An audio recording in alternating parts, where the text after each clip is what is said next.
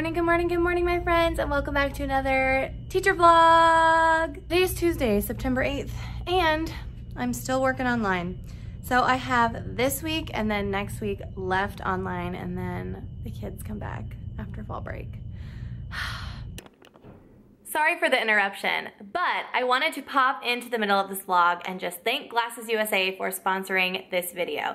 So you guys know that I love glasses. If I'm gonna have terrible eyesight, I at least want my glasses to be cute and to match all of my different outfits. So I am a glasses connoisseur and I have so many pairs, but you guys, I partnered with Glasses USA again to bring you four new pairs of glasses and a discount for 65, 65% off of your first pair on Glasses USA. So I'm gonna share with you guys the four new frames that I got this time. So if you're not familiar with Glasses USA, they are an online glasses shop where you put in your prescription, you pick the frames you want, you can customize the lenses that you'd like, you can do blue light blocking, you can do UV protection, anti-scratch, mirrored, all of those cool things you can do with lenses. You can also do near vision, progressive, and bifocals. So all of your glasses needs the same things you would do if you went to your optometrist office,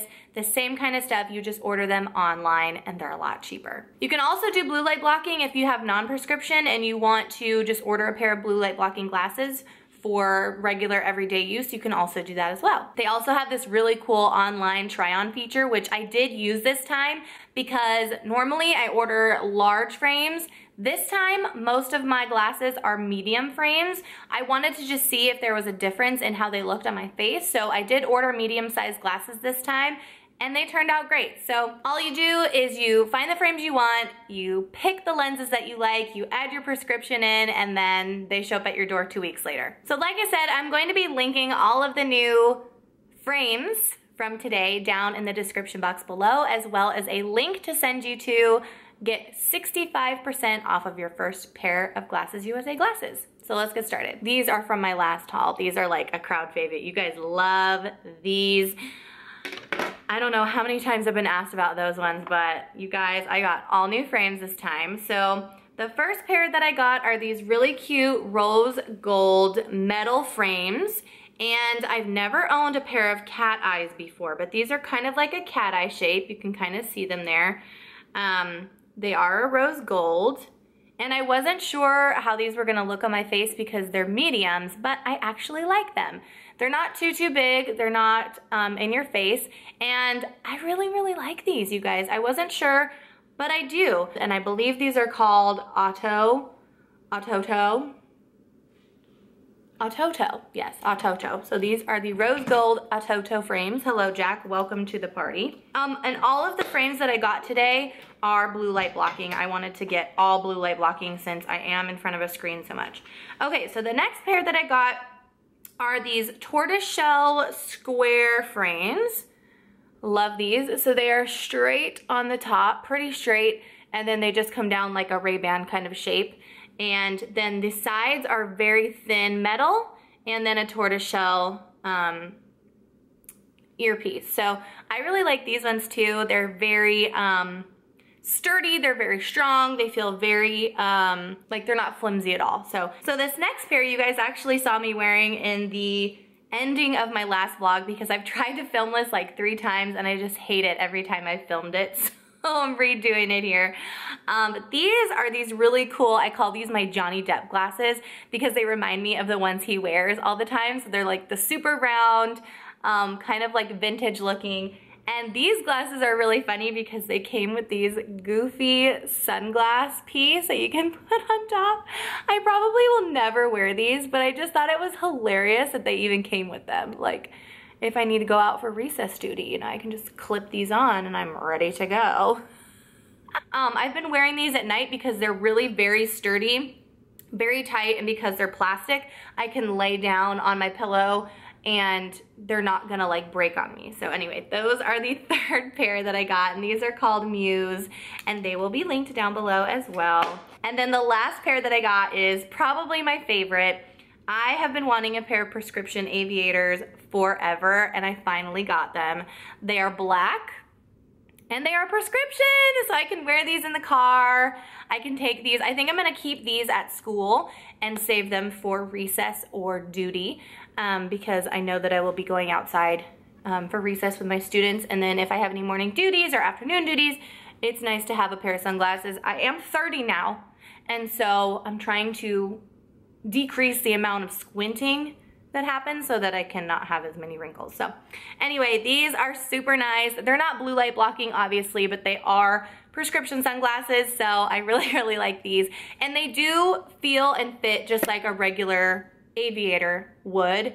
Um, they're not too high on my face, and I like how big they are. They're not super small, so I think bigger frames look better on my face. I have a big head, so. So like I mentioned before, all of these frames are going to be linked down in the description box below, and there's also going to be a link there for you to get 65% off of your first pair of Glasses USA glasses. So let's get back right into the vlog.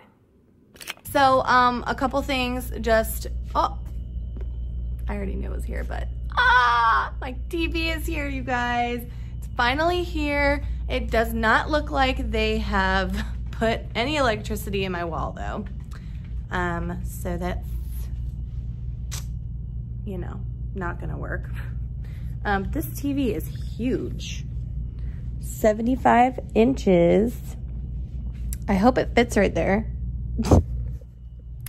anyway, so the fact that it's here means that they are probably going to be drilling in here, in which case, I don't know if I should go home and work or if I should just work from here, I don't know.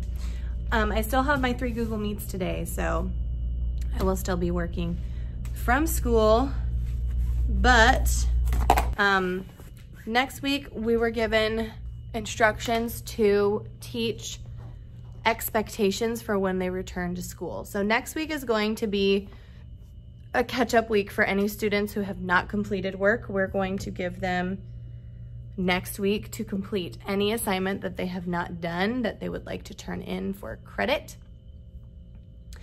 And we're going to be teaching expectations. So a lot of my instructional videos are going to be of me modeling expectations in the classroom.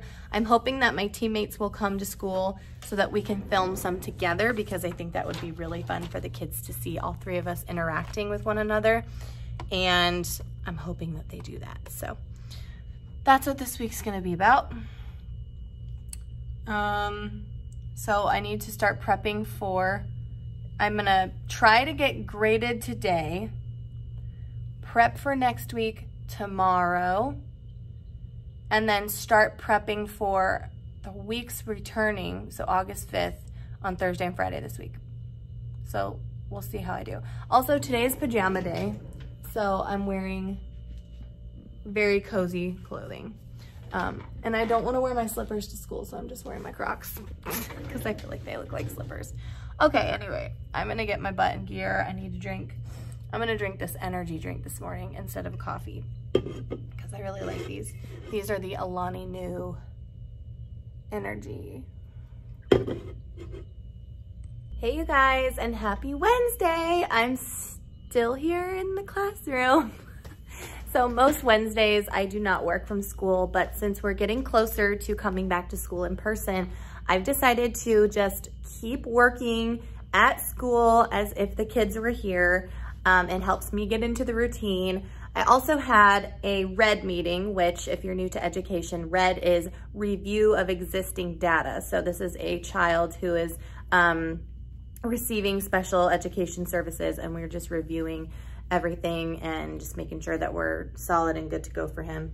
And so that was at 7.30 this morning, which I'm like, come on guys, you have to do it so early, but um, it's the reality because during the school year, when kids are here, we do have to meet early so that we can get it out of the way before kids come to campus. But anyways, it's Wednesday and my TV is still not mounted. I'm just kind of like, to the point where I just, I'm sure it will be hung before students return. And I'm hoping that that is a thing. Um, so I received a thing in the mail today. I ordered this on jane.com. It's one of these goofy like um, face shields, which I think is really cool. But I was just talking to my dean of students and I don't think that I can just wear this. I think I have to wear a mask as well. But I'm not that paranoid, so I don't know if I'll even get to use this because I was hoping I could wear this instead of the mask. I don't know. I'm gonna have to ask my actual principal about that one. But okay, so Wednesday today, I'm half prepped for next week already.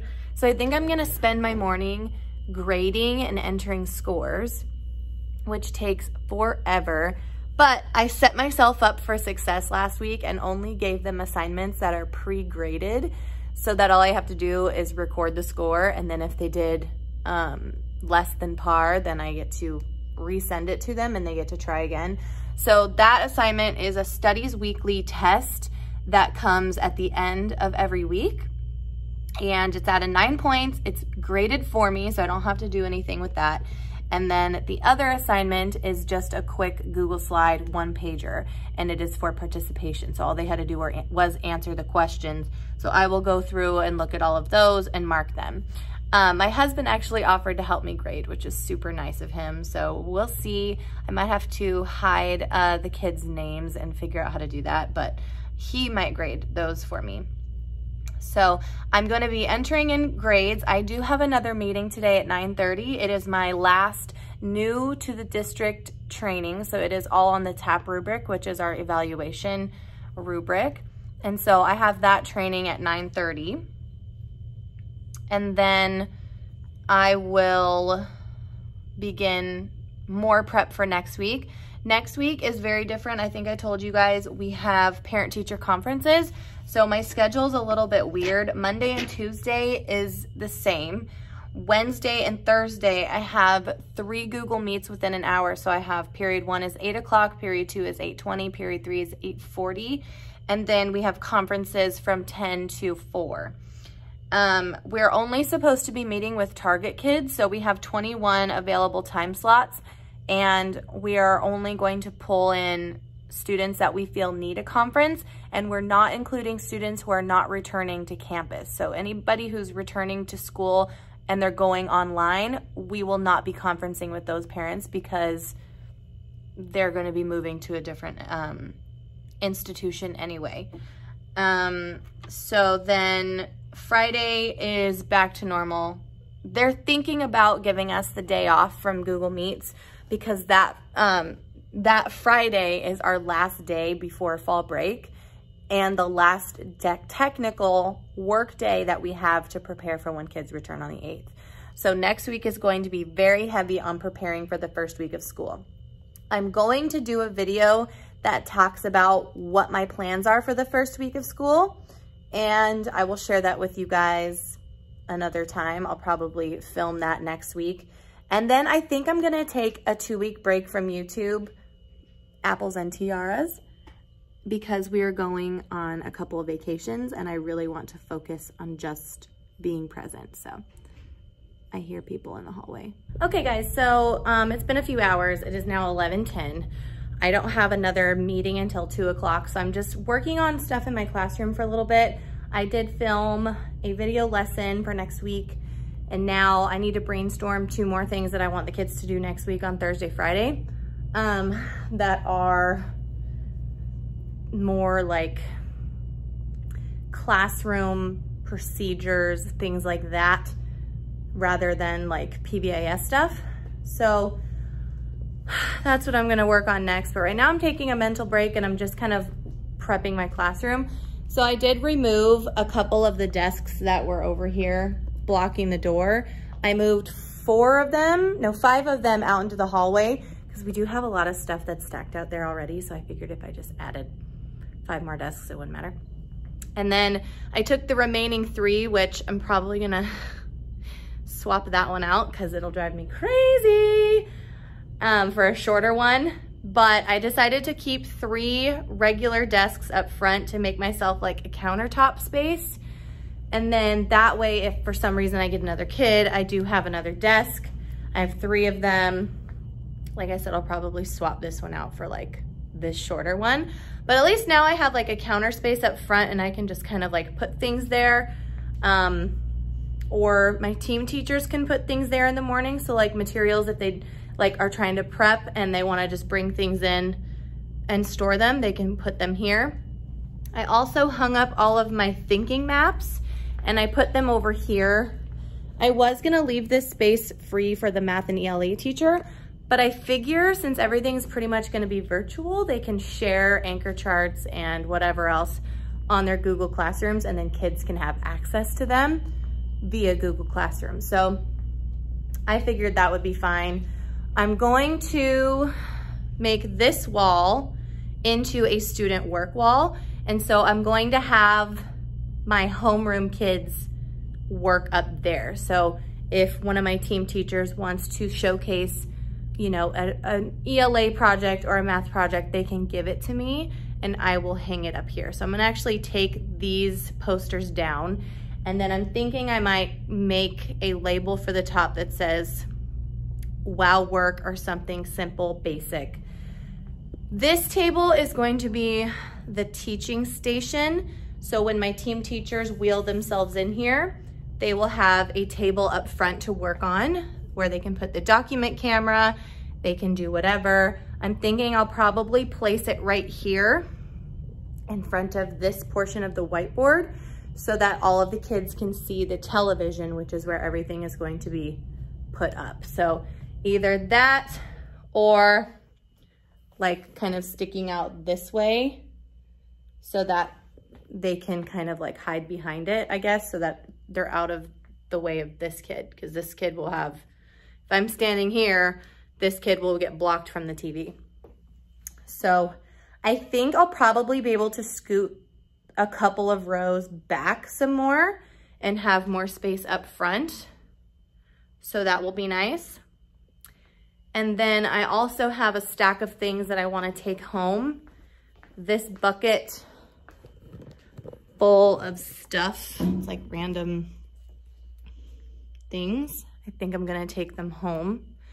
And then I moved these black tables back here to be like a small group space. So this will be where I pull kids one-on-one -on -one if I need to do that. I have some black stools that I will place around this so that if I have to pull a couple kids back at a time. Eh, I printed dojo invitations for all three of my classes because I do intend on using Class Dojo as much as possible. So I printed those so they're ready to be sent home when the kids return to school. I'm gonna start plopping anything and everything that's paper that needs to go home. I'm gonna plop it here and start putting all of my things for next week on this, or the week after fall break on this table. Uh, what else? I need to put my curriculum away. I might actually start making piles so that I can give a book to every kid. These are going to be, if the kids do anything in this, they're going to take a photo of it and upload it to Google Classroom so that I don't have to have any paper tracking issues, but like basically they would just hold it up to their screen, take a photo of it, and then put it on their Google Classroom assignment. I'll probably make a virtual module thing and then anything I want them to turn into me, they'll just upload it there and I can just go search for it. So I'll do that. And then this is where I'm planning to put my Chrome cart. This might change though because I know that we're not gonna have a Chrome cart for every teacher, but there are enough Chromebooks for every student. So I might have to put my Chrome cart right here by the door if I'm the one that keeps it so that the kids from next door can come and grab a Chromebook from my room. So I might just put it right here by the door. That way it's kind of in the back and it won't be a huge issue. So I might put something else over here. I wanted to place a desk outside in the hallway right here. And I wanted that to be like a no mask spot so if kids are struggling or they're feeling like they need a mask break, they can step out into the hallway, prop the door open, and take their mask off. So I'm gonna talk to my principal and my team teacher, um, my math teacher who teaches next door because they'll share that desk, if that would be okay to put a mask break spot in the hallway. So I'm gonna ask admin if I can do that.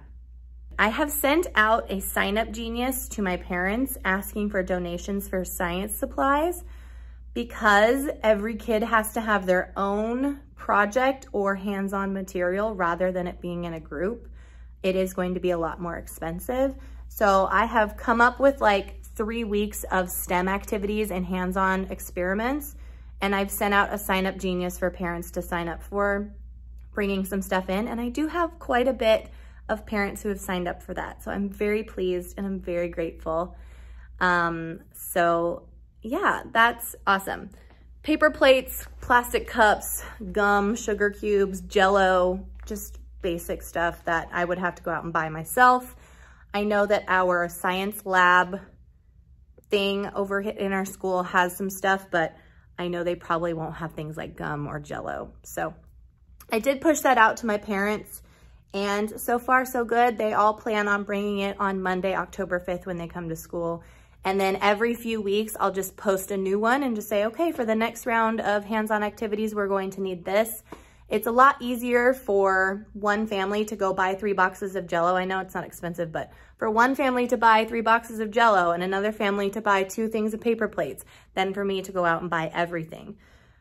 Especially since I need like 60 projects instead of like 20 because normally they'd work together or in partners and so I just need a lot more supplies. Hey, you guys. So it is now Thursday. I'm getting ready to finish up my last meeting of the day, and then I will be moving over into office hours. I have got pretty much nothing done today, but that's fine. Um, we did get some information about returning to school, and I plan on doing a full video just walking you guys through our school's plan and what we're doing and how we're going to handle coming back to school in person in October. I did learn that my class size is 18. My homeroom class size is 18 and then the other two classes are 20 and 16. So they're even numbers, which is great. I have set up for 20 and then I have three extra desks. So if we get any more kids, I can add more. Um, we also learned that the kids are going to be rotating instead of teachers. So that means I'm going to keep my stools because the kids will only be in here for like 75 minutes, maybe 80 to 90. It all depends on transitions in the schedule. We don't have that yet, but once we do, I will start planning. I have begun planning for the first week of school and I will talk all about that in my next vlog, but I am going to take two weeks off, so you guys will not hear from me. I will film the video, but I'm probably not gonna post it until like the very end of September.